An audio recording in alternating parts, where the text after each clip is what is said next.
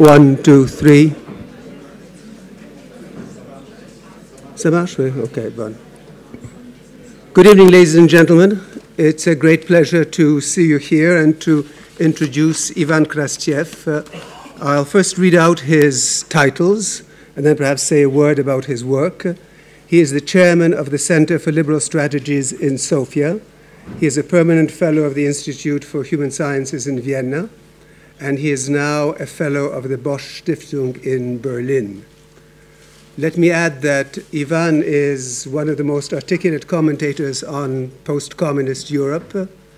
Uh, he has uh, developed an expertise and an authority on matters uh, such as corruption, democratization, transparency, and I understand that he is now preparing a book on Russia. And today he will talk to us about uh, Russia's role in Ukraine uh, under the heading, more or less, of What Does Russia Want? Welcome, Ivan.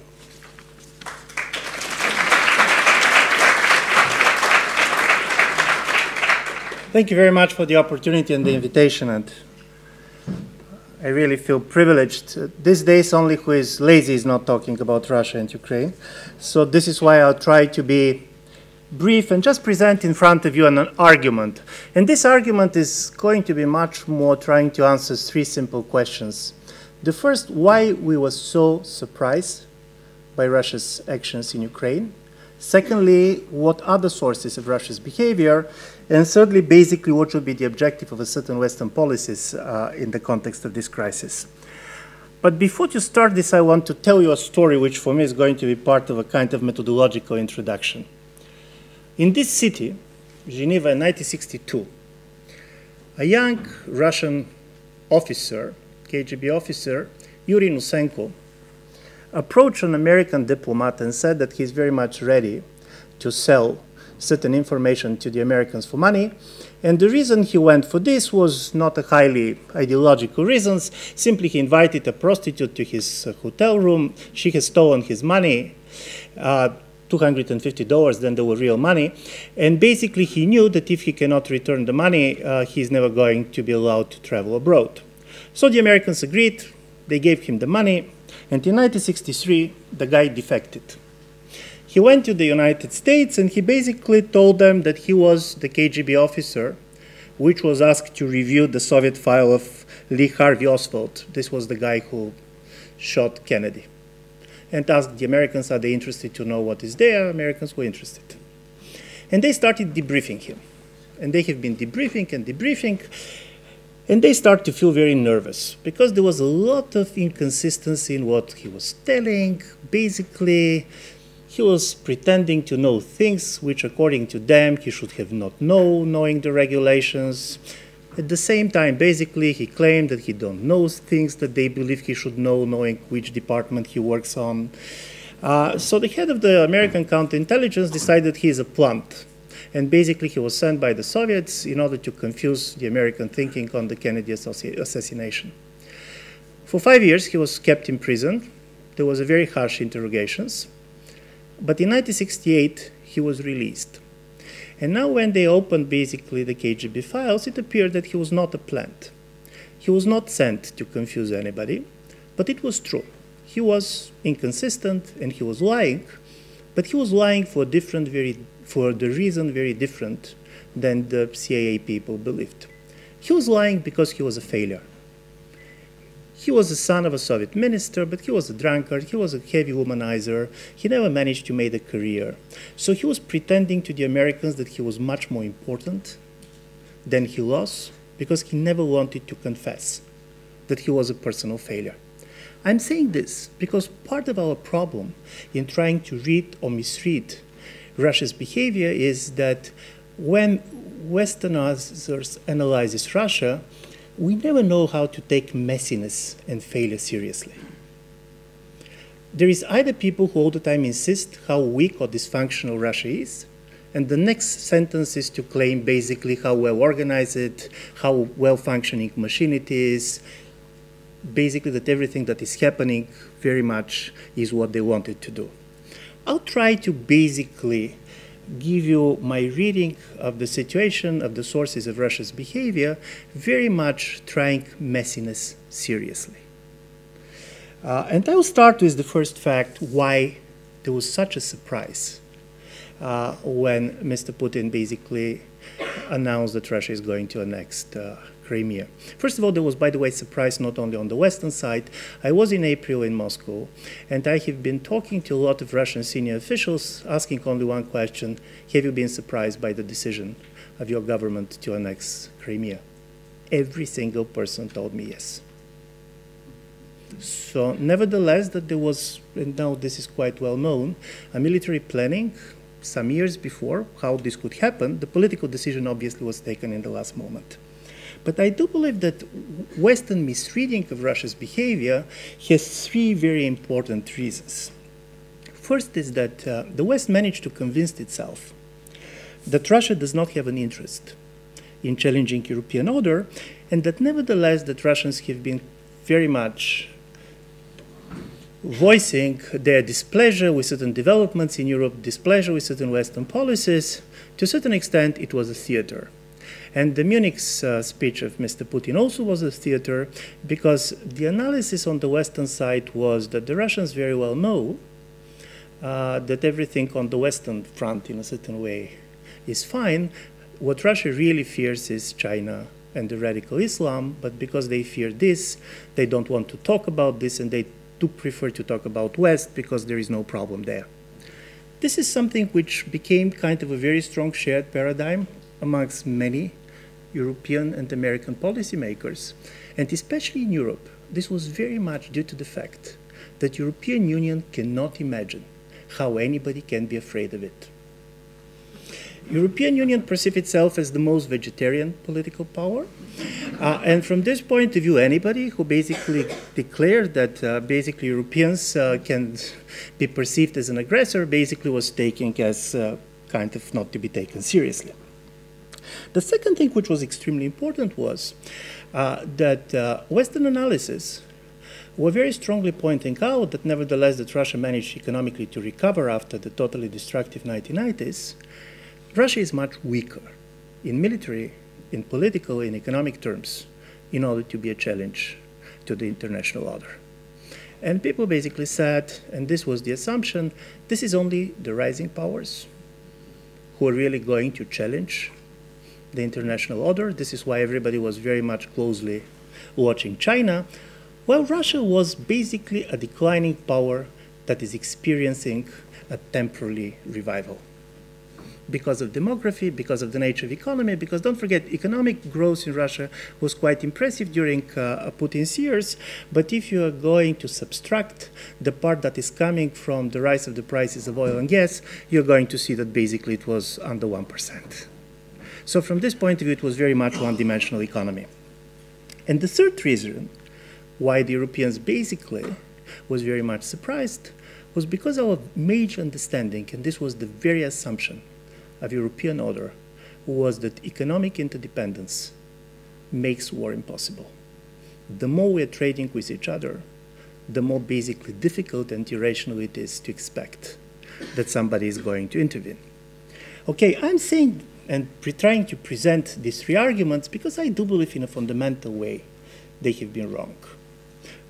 They were wrong because Russia is, was really and is a status quo power when it comes to the global order. And this is very clearly seen in the way, for example, Russia is defending the United Nations, where it has a permanent seat on the Security Council. And basically, Russia also understands that in a global world, if there's going to be a major transformation, it can much more lose than win. But when it comes to European order, Russia basically understands European order to be based on the principles which are different than the global order. And in a certain way, Russia is right. Because after 1989, the European order, which was established and which was very much modeled on the European Union, was very much based on certain type of principles who are not acting in the other parts of the world. For example, interference in each other political domestic affairs, much more security based on transparency, much more basically trying to understand international relations in terms of the rules of law. this is not basically, this idea of a post-sovereignty order is not something that is shared, even by democratic states like India, for example, in a global level. So the European order that had been born in 1989, paradoxically, was one that for a while was accepted by Soviet Union, but never very much by Russia. And I'm going to tell you why. In 1989-1990, during the unification talks about Germany, Soviet Union was in a way interested in all this European vision about constrained sovereignty, pooled sovereignty, because for them, this was an argument to try to resist the separatist tendencies within the Soviet Union itself. Uh, Soviet Union under Mr. Gorbachev was seeing European order as the way to preserve Soviet Union as a state, not as a communist state, but as a state. And paradoxically, all these European orders, all the major documents, including the Paris Charter, was signed not by Russia. They have been signed by Soviet Union. Russia came as a separatist project. Russia came out of the collapse of the idea of the post-national state. They didn't share this sensitivity. For them, sovereignty was extremely important. In a certain way, they didn't very much believe in all this type of a soft sovereignty concept. And for them, the idea of this European order, which was based on the idea of a different nature of borders, because if you go back after the World War I, the idea was that the only way to secure peace is to change the borders, to redraw the borders to create new states. After 1945, we are not changing the borders, but we are basically exchanging populations in order to secure the borders.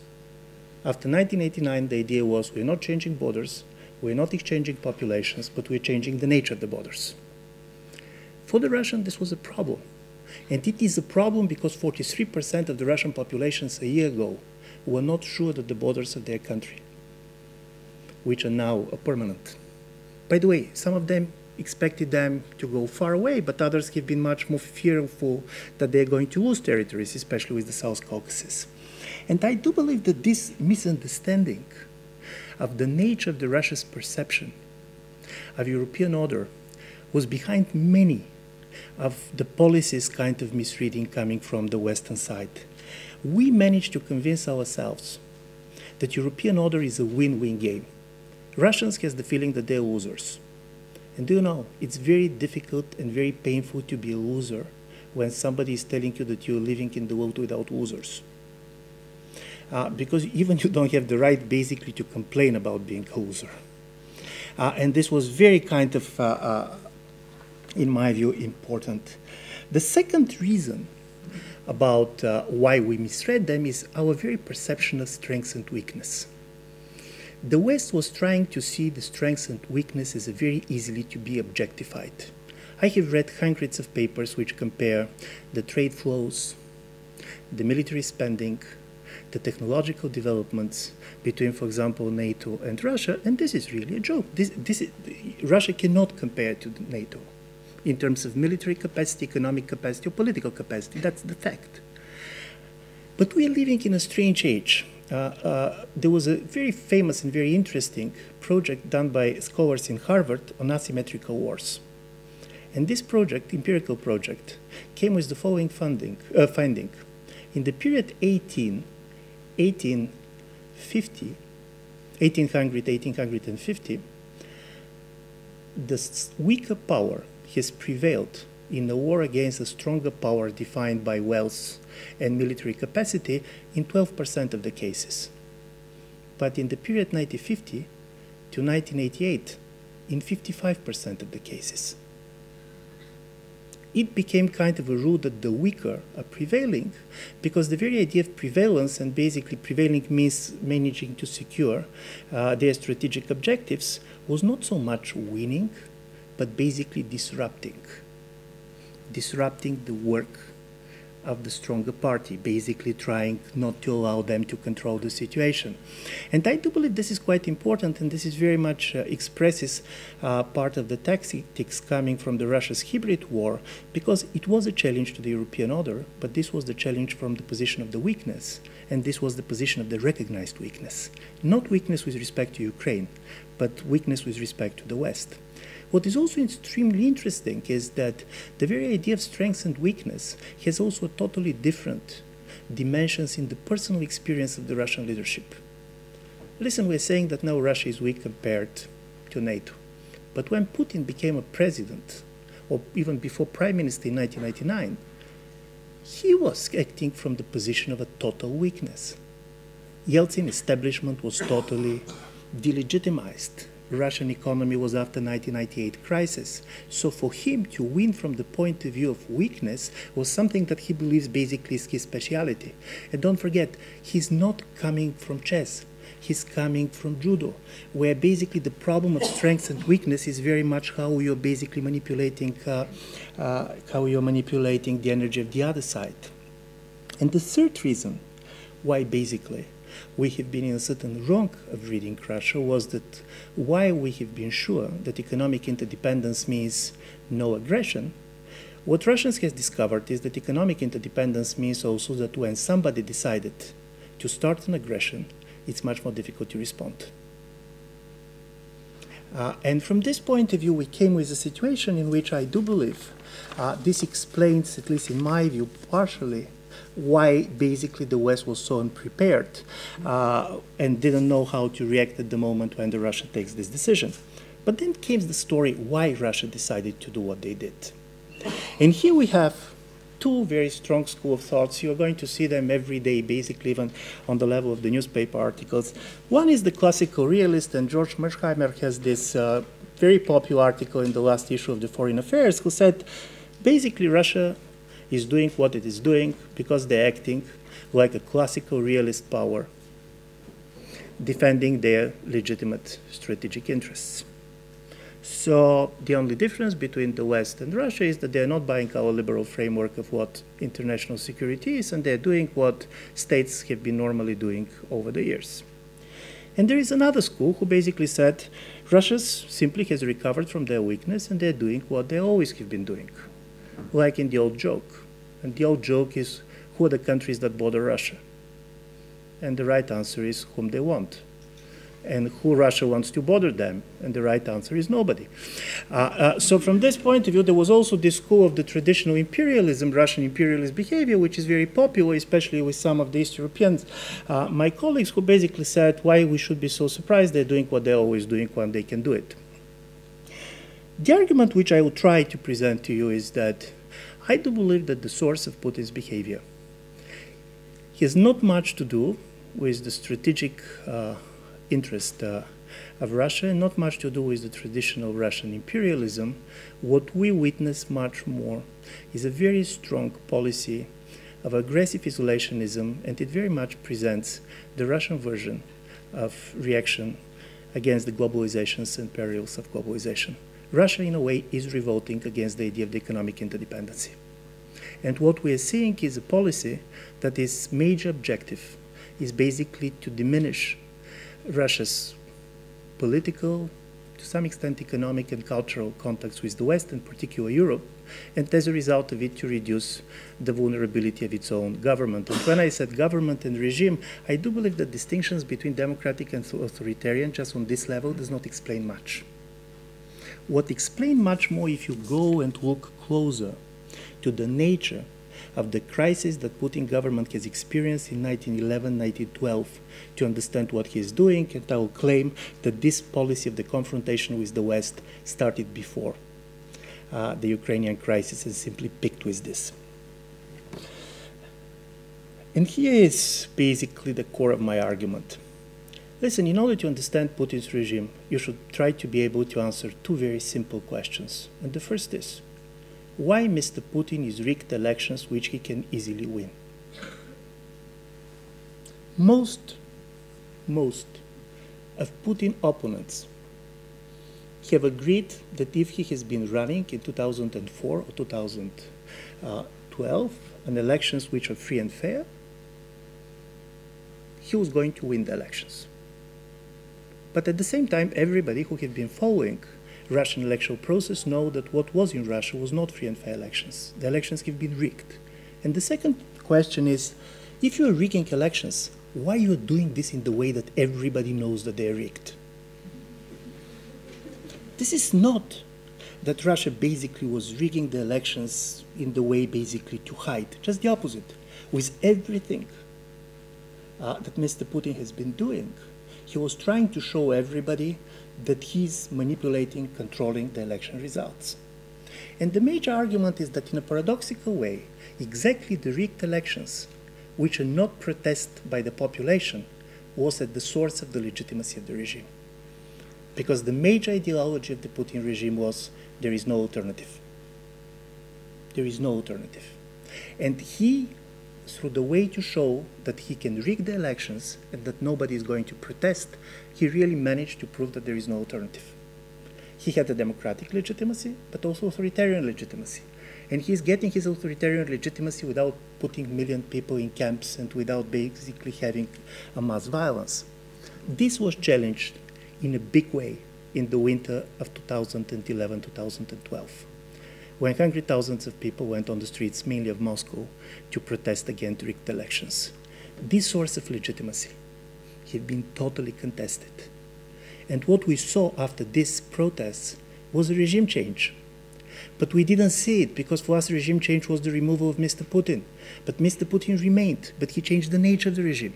For example, uh, I was talking to one of the, his major campaign uh, uh, advisors, and he said, Our major strategy always was depolitization. We don't like on the street people who shout against Putin, but we also don't like people who shout for Putin because we don't like shouting people. Uh, and, and this was very important. This is very important. This changed because when the anti Putin shouts came on the street of Moscow, this was not the game anymore. Secondly, and this is very important in the analysis, uh, by the way, Mr. Putin is convinced that both the protest in Moscow and Kiev has been sponsored and organized by the West. You're going to tell me this is not true, and I believe it's not true. He does not believe it. And the reason he does not believe it is also simple. He had this type of a very strong uh, political mentality. So when he sees thousand people on the street, the question is not why, but who. Uh, but the problem is that it is whom he's reacting. This is him who reacts. And as a result of it, he basically believes that his regime has become vulnerable and he has seen the vulnerability of his regime in the winter of 2012, not because there were 100,000 on the stream asking for Russia without Putin, but because his regime, his own elite, his closest lieutenants, were not very much interested to crash the street. Everybody was proposing Mr. Putin to negotiate with the crowd. Everybody was telling him I know them, allow me to negotiate with them. And then basically in Putin analysis, the major vulnerability of the regime was the fact that his own elites was too much politically, financially, and culturally dependent on the West. He said their bank accounts are in the Western banks, their kids are starting, uh, studying in the Western universities. This is why, when confronted by the West, they're not ready to react. So the new regime should be based on the nationalization of the elites, not nationalization of the assets.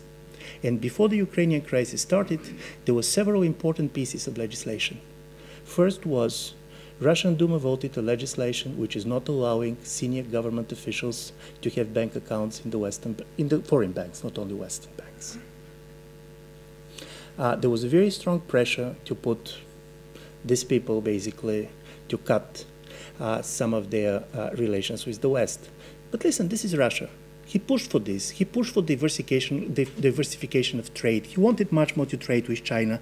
It is easy to be said, but not easy to be done, because the same governmental officials they have been looking at the West as the insurance company against basically the authoritarian power of Mr. Putin himself. Why to put all your money in Russian assets? Mr. Khodorkovsky did it and he was not happy with the results. Uh, so from this point of view, nevertheless, that there was this push, it didn't give the needed results. And secondly, the Russian government started for many people this very strange and unexplained war against the sexual minorities. Listen, for years, 1990s, and so on. There was a lot of sociological uh, opinion being done. Not that Russian society was very tolerant or enthusiastic about sexual minorities, but this was not the issue. Suddenly, the problem of gay marriages and homosexuality was constructed as a major political threat. And this has a lot of and very strong tradition, in my view, in the Russian prison, prison culture, where this is way of humiliating, basically, the other.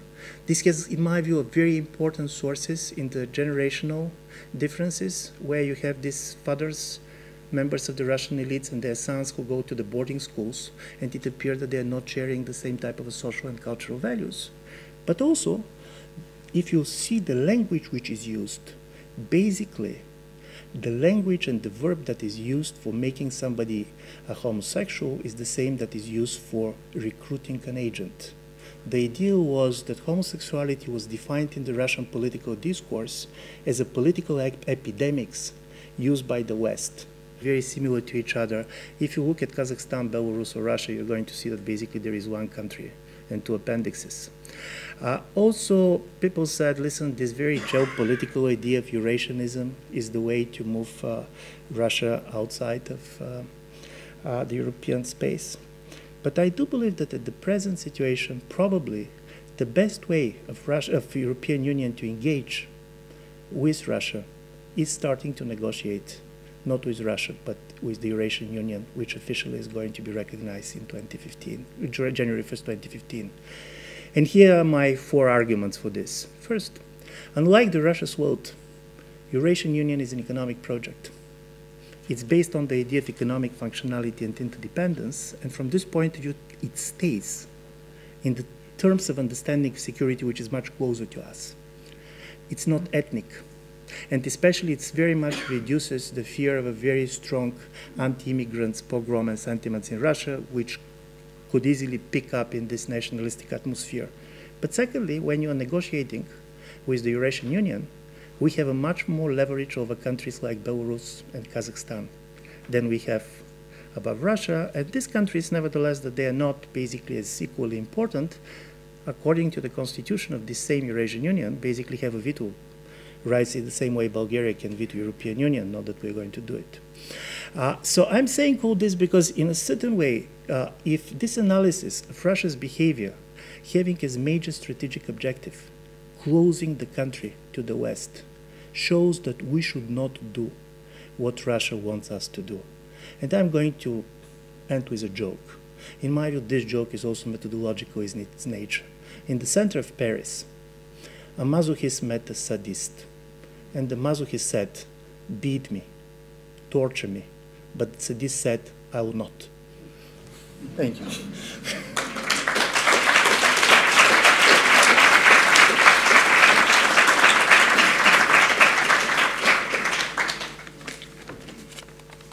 Thank you. Yes, we have about 40 minutes for questions. Please identify yourselves, and there's a microphone which will be circulated.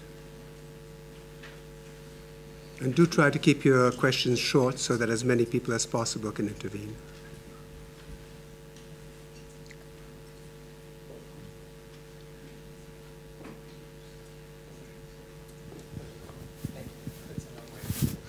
Thank you very much.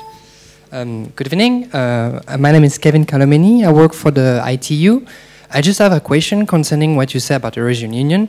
I mean, uh, behind the Eurasian Union is the idea of Eurasianism, uh, the, founded by Gumilev and by the old school, uh, the old immig Russian immigrants in Paris, in France, and so on, and uh, renovated by Alexander Dugin. The only thing with this ideology is that it's it pushed Russia to go east, but on the other side, the people that really conceived this ideology have Western mind, Western thinking. The Russian immigrants were educated in Western Europe. And even the, the um, ideological roots, premise of this concept is founded on uh, Western science. So the idea, is it really this idea of uh, going east? I have difficulty to, to believe this idea of going east from Russia. Because they always say, yes, we want to go east to go to, to discuss with the nomads, to discuss with the Central Asian people, but on the side, they, they kind of never really, they don't really want to, to see the opposite side. They don't really want to go toward China. They, it's a kind of more reflection than really adhesion. Thank you. Uh, thank you very much. I do believe it's extremely important to distinguish between Eurasianism as a political trend, and by the way, as a political fashion in Russia, and the Eurasian Union as a political reality now. Uh, because I very much agree with, uh, with you about Mr. Dugin. Mr. Dugin is a great product of European postmodernism. I had the pleasure to have met him several times. This is as if you go on a theater. Uh, he's look like Russian peasant. He's dressed like a Russian peasant, and basically he looks like uh, somebody coming from the church. Uh, but when basically you start listening to him, all his language, all his major concepts are coming from much more postmodern French tradition than from any type of a Russian traditionalism. Uh, and by the way, his English is absolutely fluent. Uh, so all this idea of Eurasianism was try to keep Russia globally important and having an identity of its own. I do believe that the very idea of creating a civilizational state was very important for Russia. The idea of cultural identity in the Russian view of solidarity, of uh, sovereignty, is one of the major definition of it. And don't forget, the end of history of Fukuyama never was a bestseller in Russia.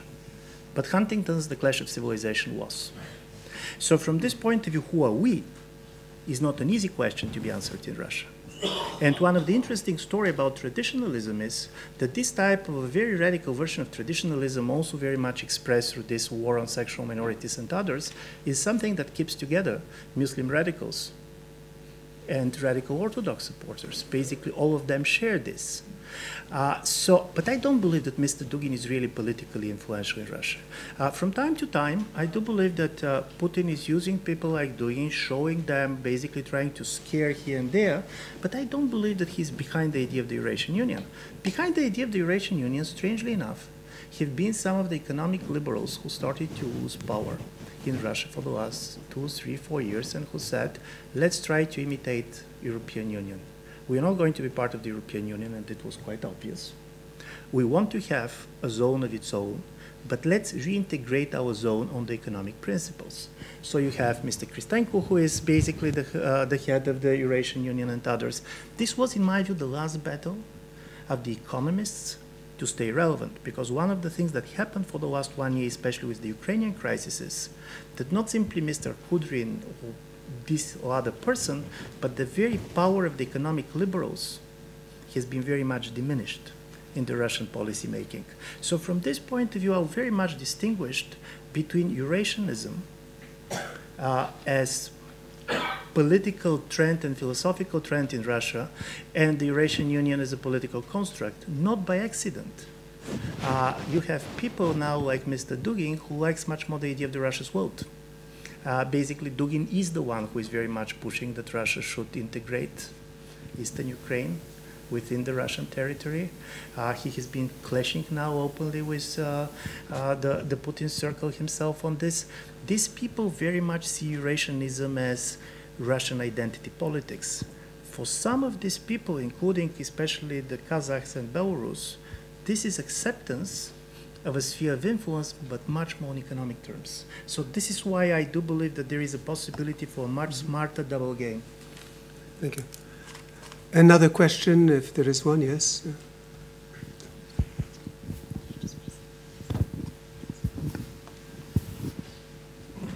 Hi, thank you very much for this very interesting um, speech.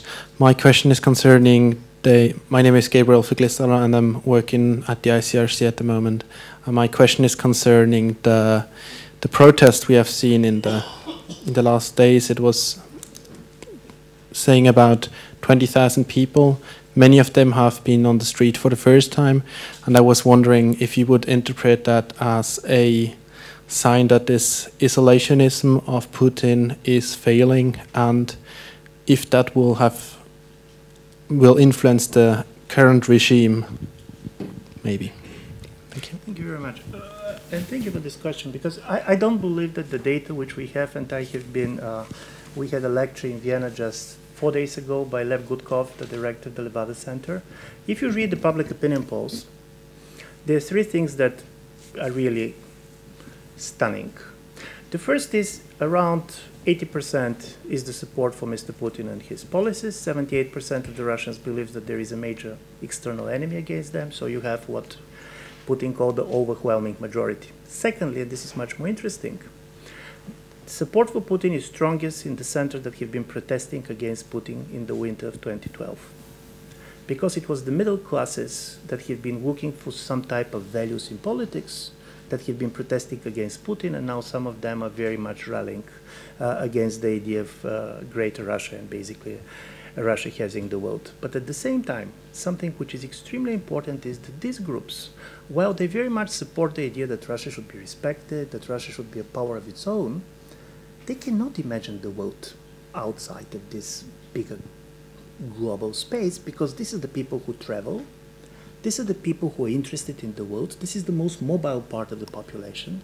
And to be honest, these 20,000 that have been 30,000 on the street yesterday, you cannot imagine what kind of a personal courage and integrity is needed for these people to go. Because if before the pressure was from government, now they have pressure from their neighbors, from kind of these nationalistic sentiments, and the existence of this Russia that went on the streets knowing that they're a minority is something that I do believe on the West we are not not ready to recognize, not ready to understand how difficult for these people is. I have been, when I was in, in April in, in Moscow, I went to one of the major bookstores. And there was a poster in the bookstore. And there was five of the faces of basically people who disagree with Putin's policy. So you have the famous rock musician Makarevich, you have the famous writer Akunin, you have Navalny, and the text was uh, the faces of the fifth column. So the pressure on these people is incredible. But these people show and demonstrate because they have the feeling that it is not just about politics, but it's really about identity of Russia uh, as a political space. I don't believe that these 20 or 30,000 in the moment represent something more than a very small minority in Russia. On the long run, I do believe that this isolationist policy has a huge problem of its own. First, because economically, there were some Russian economists who expected that now when Russia is going to close itself, Mr. Putin is going to push for slightly more competition in order to make the import substitution to work. This is not the case. What you see basically is a bureaucratic wars in which Mr. Sechin basically is taking uh, the assets of the others. Uh, but on the other side, also the Russian society to go on the east. Which east exactly? China, it's kind of nice to talk to China politically, but Russians don't know much China. They don't travel much more to China. And I do believe that this isolationism, in a long term, is very difficult to be sustained. But this isolationism is also a problem for the West, and this is at least my major kind of conceptual argument which I want to make to you. Uh, everybody believes that the tensions in international politics that we see in the last two, three years, basically after the uh, financial crisis, are much more coming from the rivalry of the big powers. I mean, Americans, Chinese, Russians, and so on. In my view, we see something slightly different. The major factors that shape these tensions is the internal instability of all big powers. Mr. Putin goes in Ukraine to stabilize himself inside, and not because he is so much interested to get this or that part of land. But this type of internal instability, of course, makes this policy so difficult to be predicted. Because if you're going to ask me what he's going to do next, I don't know because it is going very much to depend on the domestic political considerations and not simply on a strategic idea that you want this part of Ukraine or this type of a solution for Ukraine. I do believe that it also makes uh, the international politics much more unpredictable than people are ready to admit. Thank you. Yes, someone has the microphone. Does it work? Okay. Um, I'm Olga Gavun from the Permanent Mission of Ukraine to the uh, United Nations here in Geneva. Thank you very much for your uh, information and I would say very fresh approach to this uh, crisis. I uh, would keep my question very short. Uh, how about Ukraine? How do you see uh, ways of resolving this crisis? And the role of the United Nations and other international organizations uh, in this. Thank you. Listen, I'm not a specialist on this, and what I'm going to say is going to be very much reflections on my experience with the Balkan crisis and basically what I have seen during the Yugoslav crisis. One of the major things that happened in Ukraine was also type of a identity transformation. If uh, they should be a monument of the Ukrainian nationalism in Kiev these days, it should be monument of Mr. Putin. Uh, because at the moment when uh, he basically uh, grabbed Crimea, a totally different type of the Ukrainian nationalism has been born. And honestly speaking, the Russian-speaking Ukrainians in many parts of Ukraine are some of the most radical exponents of this type of uh, uh, uh, Ukrainian nationalism because these people had an identity in which till yesterday being part of the Russian culture and living in the Ukraine was not a problem. Now they have been forced to choose. And because they have been forced to choose, they made a very kind of a tough choice of their own, and they're never going to forgive that they have been pushed to this choice. Uh, I'm saying this because Ukraine, in my view, now is going to face a very unpleasant choice. One is uh, to go with a Dayton type of Ukraine, basically, basically trying to make out of the Ukraine a new Bosnia, you're federalizing, uh, you, which means that you're going to have the borders of the Ukrainian states being internationally recognized. You're coming with the federal solution, but the major risk is, like with what we see in Bosnia, paralysis of the state apparatus for a long period of time. It sounds very well on paper. It does not work very well on the ground. Uh, because then, for different reasons, and by the way, Russia is not the only reasons, and I don't believe that Russia explains all the dysfunctionality of Ukraine, honestly speaking. Ukraine was dysfunctional to a great extent before this crisis too. Uh, the problem is that the federalization is going to come with such a complicated and complex constitutional arrangement, which is going to make very difficult for the Ukrainians to recover from kind of embedded type of dysfunctionality which comes with the post-communist transition. The other possibility is part of Donbass as a frozen conflict, because I don't believe that it's possibility uh, to, to join Russia's federation. I don't believe that this is in the cards of the Russian policymakers. I could be wrong. Frozen conflict means two things. It means that basically the European Union and the West are not going to be forced to pay for the recovery of Donbass, but it also means that de facto Donbass is going to be in relations with Russia like the other frozen conflicts uh, in the post-Soviet territory. And don't forget that probably now in Europe we have more frozen conflicts and unrecognized state than we have in Africa. Uh, it's very nice to see how people tell the story about Europe being totally uneventful place in the last 25 years. Listen, in Europe in the last 25 years have been born much more states than in any other place and continent than Africa in the 1960s. It is the biggest state construction site in the world. Uh, and from this point of view, this should not be, I do believe that this should not be underestimated. How this is going to be uh, decided for me, it's very difficult because to know, because this is going to be very much also domestic Ukrainian politics. Where is role for the United Nations? I do believe that the United Nations is not going to be the major player because of the Russia's uh, veto in the Security Council. Uh, also, this is quite interesting, but it's quite obvious after Mr. Poroshenko's visit uh, to Washington that basically he prefers at this moment the United States as a third party, probably because of the military nature of the threat, than the European Union. And of course, for the European Union, this is going to be a difficult position too. But when I was talking in the beginning between schizophrenia on our side, uh, on one side believing that Russia is a totally weak state, on the other side believing that it's a perfect functioning machine. Uh, there was uh, reports in the media that uh, when uh, Mrs. Merkel called uh, Mr. Putin uh, some weeks ago, asking him a very kind of unpleasant question, what a column of your tanks are doing 80 kilometers within the Ukrainian territory, Mr. Putin smiled and said, you know how corrupt we are, probably somebody has sold them. so, so from this point of view, we on this we're on this level, and I don't know. Honestly speaking, knowing Bosnia, I don't believe it's a good solution for Ukraine. Uh, but basically, if you know South Ossetia, this is not a good solution too. Thank you. Other questions? Yes. Thank you so much. Question back there. Yes. Mm, thank you so much for your presentation. Uh, my name is Anatoly Baishov, uh, St. Petersburg. Uh, let me express my high gratitude for being present today. Uh, my question is as follows. Uh, should we overestimate the danger which is coming always from Russia?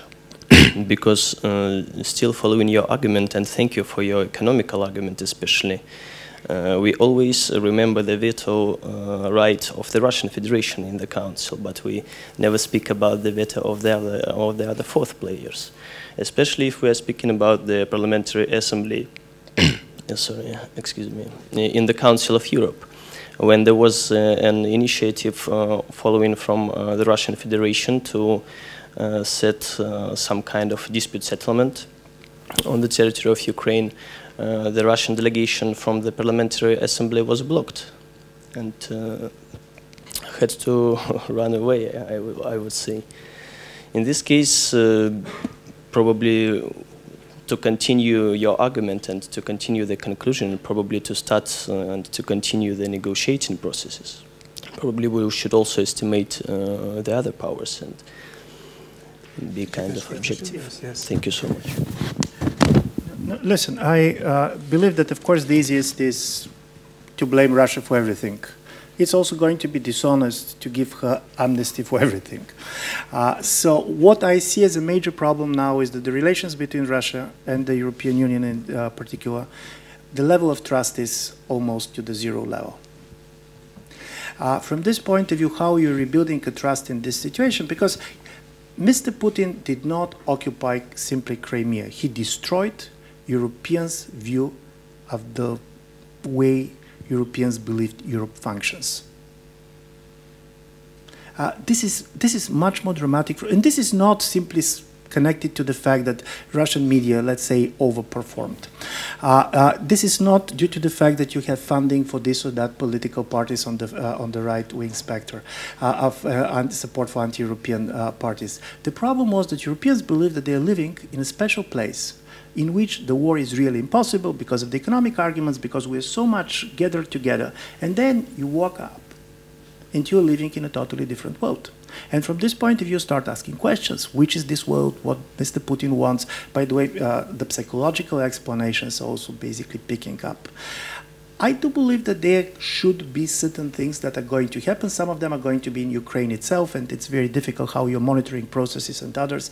Organization for Security and Cooperation of Europe here has a role to play.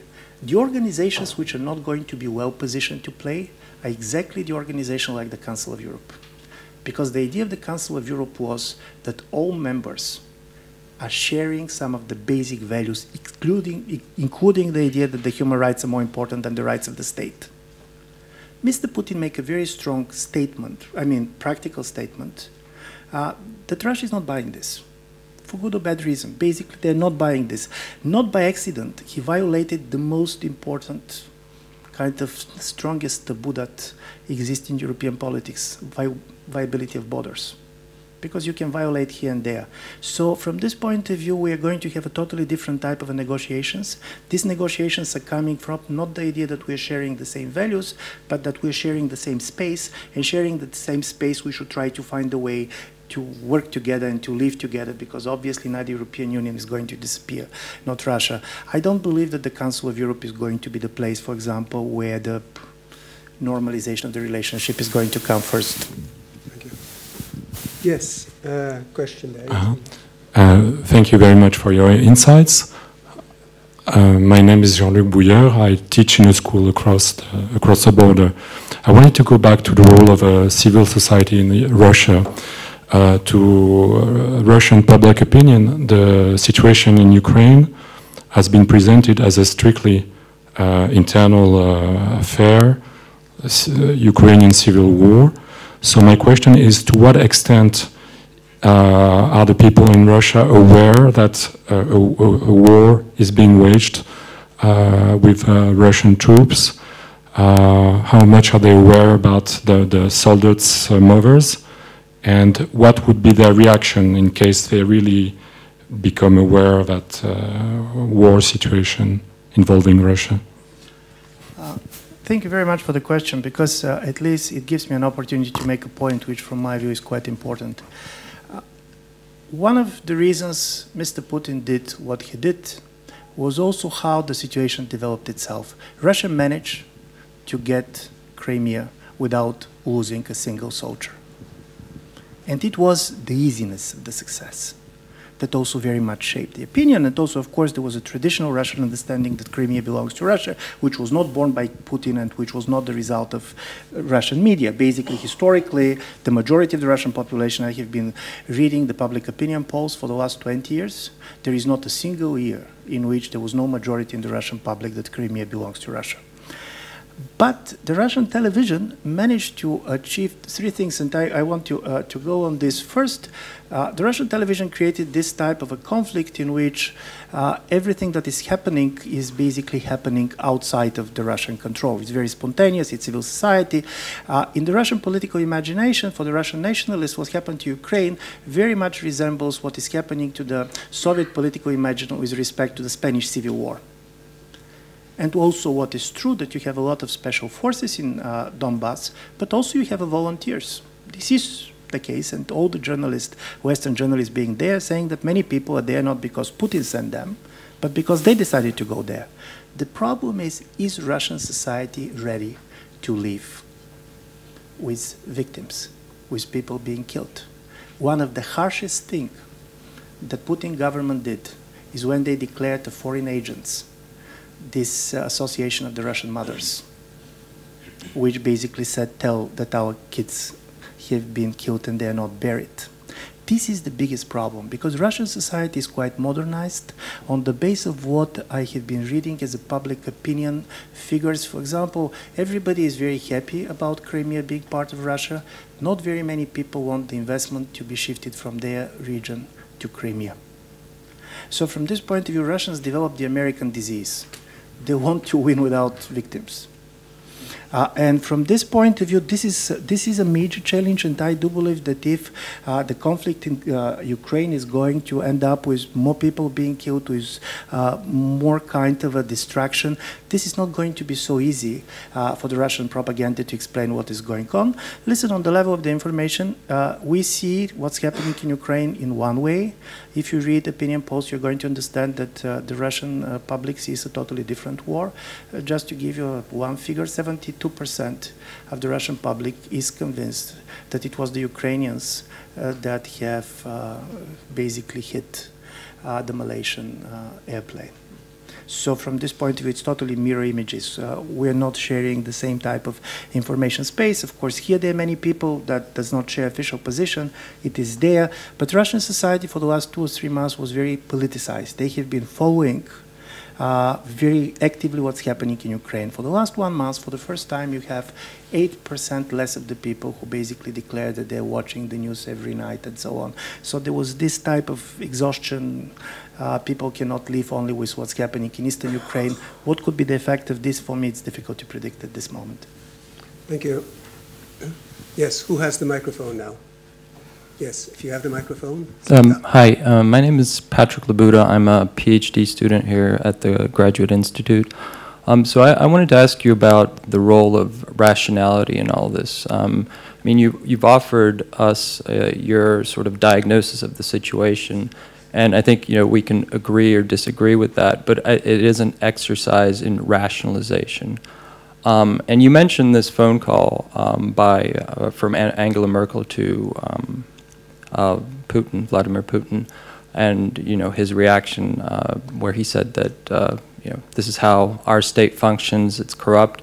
But there was, of course, another phone call after which Angela Merkel fa famously said that it's very difficult to negotiate with Putin because he's not rational. It seems like what he's doing is not rational. So I'm, I'm just wondering what role does irrationality um, play in what Russia is currently doing? Do you think that we can ascribe importance to irrationality, or is this really a calculated move by the Russian president? Thank you very much. The problem with irrationality is that when you say that somebody is irrational, this is the last sentence that you should make. Uh, and from this point of view, it's much more important to see in what context he's rational, basically how he's constructing the situation, basically in order to act rationally. But you made a much more important point, and this is to what extent basically Mr. Putin does not want to convince ourselves, ourselves that he's totally rational, we can expect anything, because this is how it functions, because any type of international order is based on certain expectations, and if you're totally unpredictable, uh, you're taking the initiative and you're in an advantageous position. This is the famous, basically, Nixon's position, because basically President Nixon was based his policy on the fact that he managed to convince all his opponents that he's so crazy, that he can do everything that they don't believe he will do. Does it mean that he was not rational? No, he was rational, and Mr. Kissinger was next to him, and he's not famous for being irrational. Uh, uh, but the basic problem is this is a very rational behavior. This is a very rational behavior. The problem with this rational behavior is it is very good to take the initiative. It is very difficult to sustain it over a very long period of time. Uh, because when somebody is going to do uh, and you know this very well also from Jervis, perceptions, misperceptions. If you manage to provoke and in a certain way to make the other side to believe that they don't know what you're going to do anymore, you're in a very powerful position. But the level of unpredictability reaches the moment in which it can become also very dangerous for you. Because if NATO really believes that Mr. Putin is totally irrational and he's ready to go to Warsaw or to Tallinn this is also changing the calculus of the game. And I do believe from this point of view, I don't see Mr. Putin, honestly speaking, is irrational at all. I do believe that he's very much provocative. He has applied certain type of behavior which is very much in a tradition of the Russian gangsters culture of the 1990s, which has its own rationality. First of all, is the most important in this culture is do not look weak. Weakness is something that should not be tolerated. Secondly, try to fight every concrete struggle as if this is the most important in your life. There is no small fights and big fights.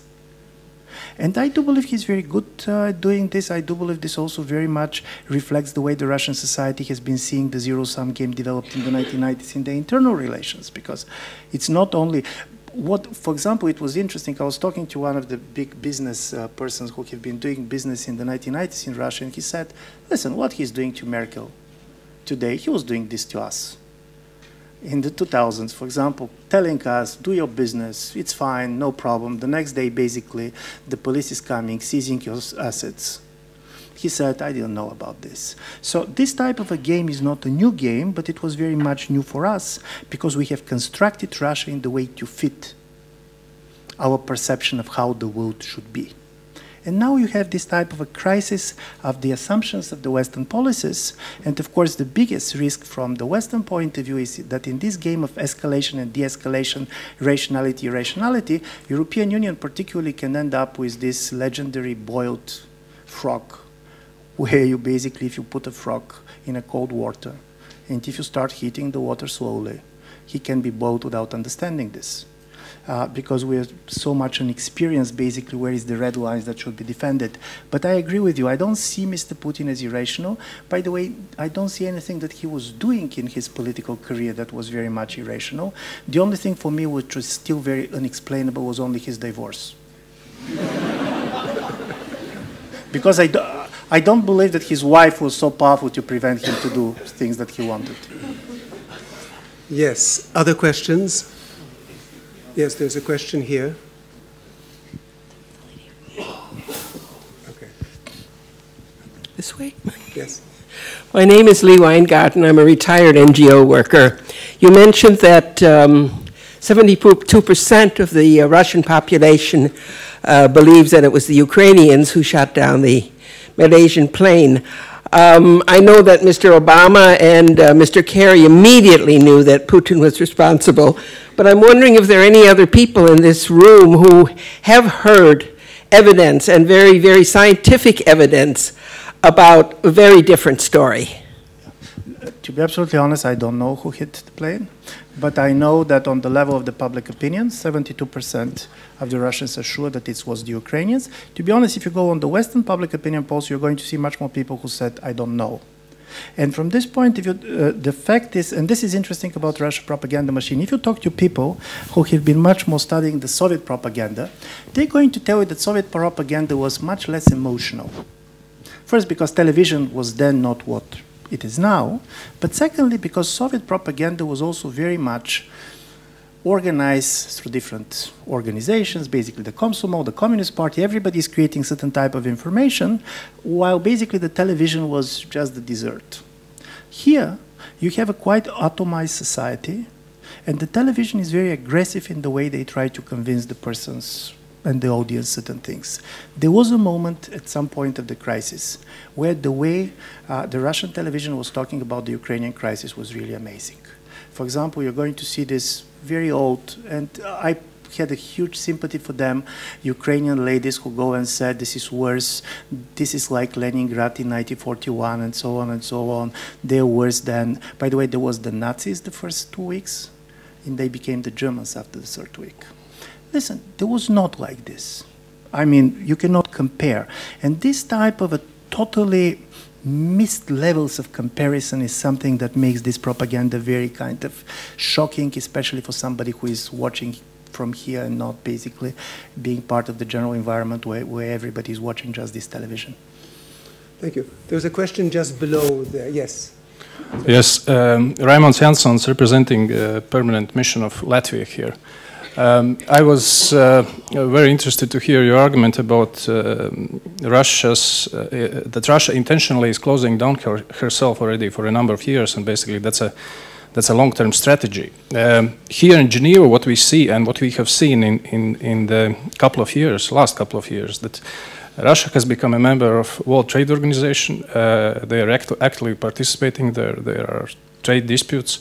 Uh, we have seen that Russia is asking for a visa liberalization with the European Union and uh, was very much interested in that.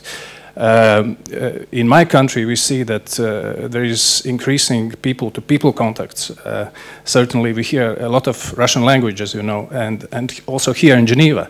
So how um, uh, all these things are going together with your argument about intentionally yeah. closing down. Yeah. Thank you. Thank you very much. I do believe, and this is a very important uh, uh, argument, I do believe that the general strategy of the Russian government was try to close Russia politically. And this is why economic, organizational part of the world, let's trade with the world, what we are not going to tolerate is basically intervention in our domestic politics. I do believe, and this was my major argument, that this changed very much in the winter of 2012 where this idea that we can be part of the global world economically, that we can be organizationally very much integrated, and at the same time we can keep our political system closed. This is the moment in which I do believe that the Russian government perceived economic interdependency as a type of a threat. And then come this much more as I told you, radical forms of cutting, like bank accounts uh, legislation. By the way, one of the latest idea that is discussed by the Russian Duma is strongly to increase the tariffs uh, for the uh, airplane tickets uh, when you're flying abroad and to decrease the tariffs when basically you're flying within Russia. So the idea of closing the country, there is a lot of legislative acts from the last one year, which at least in my view gives at least uh, some hope that what uh, I'm saying is not totally irrational. Thank you. Boris Engelson, a local journalist freelance. First, concerning rationality, if anyone in this room has ever seen rationality east or west, he or she must be very old because I have never seen anything like that since my birth. But now, two ultra short questions. First, how do you explain the low profile of Turkey in the Ukrainian and Crimea crisis? Second question, is it a problem for Russia to be number one in size and probably number 10 and soon 20 in population? Yeah, uh, Turkey, I do believe that Turkey is now very much preoccupied with the crisis in the Middle East. The Syrian crisis is, from the strategic point of view, much more important for Turkey. No, but even I do believe for the last three years, for Syria is the major preoccupation of Turkish politics.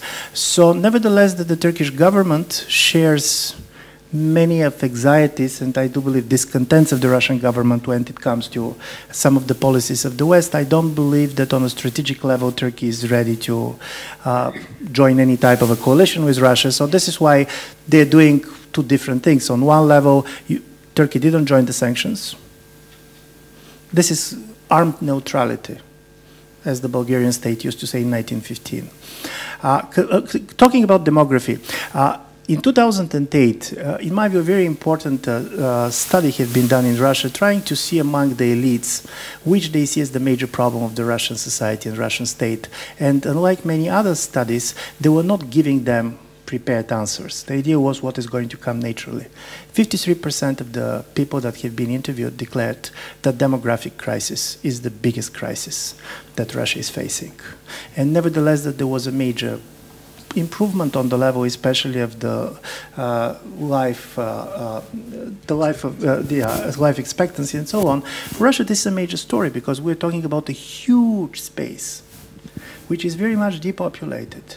In Siberia, you have around six million people living basically in a territory which is much bigger than half of Europe. And this is creating a story because trying to develop these areas is becoming very difficult. Some of the major developing strategy of the Russian state are put under questions.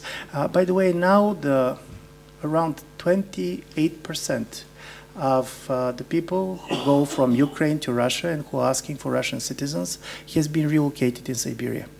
Uh, so Russia is trying to use part of this crisis to start to populate these areas and basically try to develop it. So from this point of view, I do believe that demography is the major problem and the major concern. It was recognized like this. It has a lot to do also with the uh, state of the Russian healthcare and uh, many other things. And also don't forget, it's not simply that you don't have too many young people, and this explains why I don't believe that you have this type of a war mentality in Russia. Aging societies, are not very keen war. They prefer to watch them on television. You don't have this surplus of young people that was so typical for the World War One uh, Europe, which explains part of what happened. Uh, but these demographic fears uh, can be seen in many things. For example, they can be seen is uh, some of the anti-immigrant sentiments, by the way, very shared from the point of view of their views towards immigrants. Russia is absolutely European society. Uh, it shares all our fears and uh, uh, anxieties about this. According to some studies in the year 2020, 20% of the Russian soldiers, I mean people who are on the soldiering age, uh, are going to be Muslims. So Russia is one of the European societies with the biggest percent of the Muslim population, and the integration of this population have been highly problematic uh, in different parts of, uh, of different parts of Russia. So I agree very much with you. I do believe that demography is a major factor, and this is why probably Mr. Putin believes that Russia today is stronger than yesterday, but not necessarily stronger than tomorrow. Thank you. I think we have time probably for another question, if there is one. Yes. Yurko Tatiana, Nasha Gazeta, Geneva. Uh, Dr. Krastev, uh, do you think that uh, American and European sanctions could uh, change Russia, Russia's policy in Ukraine in the long term? Listen, it's very difficult, and I'll start with the fact that it's not true that the sanctions does not have any effect. You, it's enough basically to see how much uh, certain Russian businesses, basically, especially the cost of the capital has been very much increased. The problem is when to expect the change. And secondly, to what extent this change is also going to affect the level of economic interconnectedness that I have been talking about. I see the problem of the sanctions not so much from the point of view that our own European economies are going to be so much affected. To be honest, this is negative factor. It's not a dramatic factor. Compared with the money that, for example, have been given to the recovery of Greece, the money that Europe now is losing out of uh, the lost trade with Russia is much smaller. The biggest problem is that as a result of the sanctions, especially if the other global powers starts to believe that the West is trying to use its dominant position in the financial infrastructure of the world. If they do believe that we are ready to use this very much for political purposes, we are creating a very strong incentive in other players different than Russia to deglobalize. When tomorrow basically the Russians are going to come with the idea how to nationalize the internet, fearing that probably we can cut them, I'm sure that the Chinese, the Brazilians, the Indians are also going to try to be prepared for these policies. And my personal understanding is that part of the threat that Russia presents to the international order is very similar to the type of a terrorism presents to the constitutional order of liberal democracies. You should respond to this challenge, but not to respond in the way to destroy your own constitutional system as a result of response. From this point of view, overreaction, over-reliance on sanctions could be a problem too. Thank you very much. Let me thank uh, Dr. Krastev in our name, and uh, uh, we hope to welcome him to the Institute once again in the future.